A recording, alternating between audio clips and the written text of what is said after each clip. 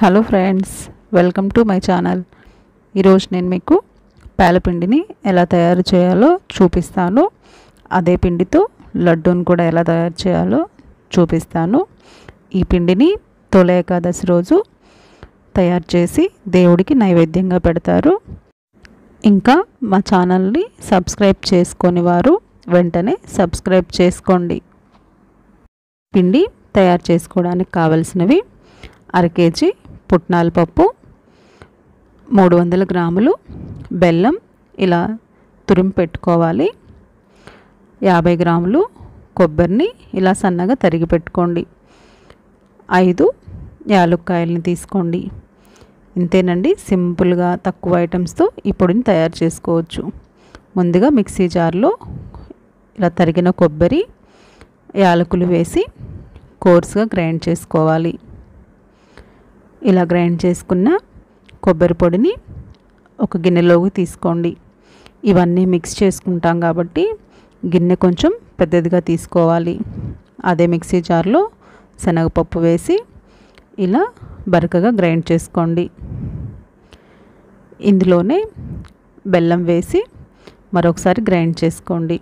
ఇలా గ్రైండ్ చేసుకున్న పొడిని మొత్తం గిన్నెలో వేసుకొని ఇలా అంతా కలుపుకోవాలి. ఇలా బాగా కొబ్బరి శనగపప్పు బెల్లం అంతా కలిసే విధంగా ఇలా కలుపుకోండి. ఇలా కలుపుకున్న పిండిని ఒక డబ్బాలో పోసి స్టోర్ చేసుకోండి.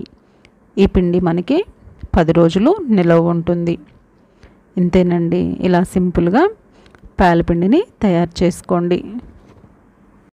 ఇప్పుడు ఇదే పిండితో లడ్డూని ఎలా తయారు చేయాలో చూపిస్తాను. ఇక్కడ ఒక బౌల్లోకి మనం పేలపిండిని తీసుకోవాలి. నెయ్యిని కొద్దిగా ఇలా కరిగించి పెట్టుకోండి. ఈ పిండిలో కొద్ది కొద్దిగా నెయ్యిని యాడ్ చేసుకుంటూ పిండిని లడ్డూలా చుట్టుకోవాలి. ఇలా మనం లడ్డూలు చేసుకునేటప్పుడు నెయ్యిని గోరువెచ్చగా ఉండే విధంగా చూసుకోండి. ఇప్పుడు ఆ పిండిని ఇలా బాగా కలుపుకొని లడ్డూల్లా చుట్టుకోవాలి.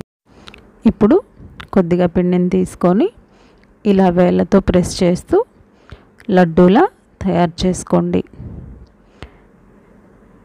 ఇలా తయారు చేసుకున్న లడ్డూని ప్లేట్లోకి తీసుకోండి. ఇలాగే కొద్ది కొద్దిగా నెయ్యిని యాడ్ చేసుకుంటూ లడ్డూల్ని తయారు చేసుకోండి. ఈ లడ్డూలు చాలా టేస్ట్గా చాలా బాగుంటాయి. ఈ పిండికి నెయ్యి యాడ్ చేసి లడ్డూలు తయారు చేసాం కాబట్టి లడ్డు చాలా రుచిగా బాగుంటుంది.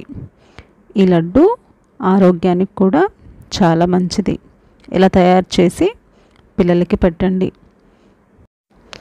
ఈ లడ్డూలు కూడా మనకి పది రోజుల వరకు నిలవ ఉంటాయి. ఎంతో టేస్టీగా ఉండే పాలపిండి లడ్డూని మీరు కూడా ఒకసారి ట్రై చేయండి. ఈ పండుగ రోజున మీరు కూడా పాలపిండి లడ్డూని రెండింటిని తయారు చేసుకొని మీ ఫ్యామిలీ మెంబర్స్తో షేర్ చేసుకోండి. ఈ వీడియో మీకు నచ్చినట్టయితే ఒక లైక్ చేయండి మీ ఫ్రెండ్స్కి షేర్ చేయండి. ఇలాంటి మరెన్నో వీడియోస్ కోసం మా ఛానల్ని సబ్స్క్రైబ్ చేసుకోండి.